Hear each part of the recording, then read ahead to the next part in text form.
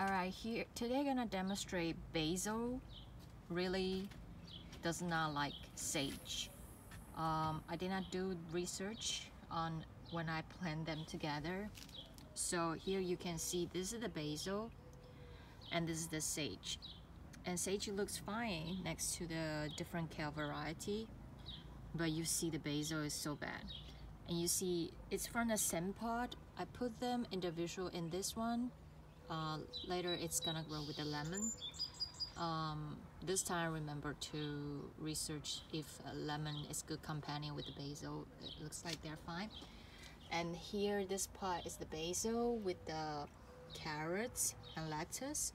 So you see the basil they're fine in different pots just this one next to the sage it looks like this. So really basil does not like sage just like pepper does not like beans.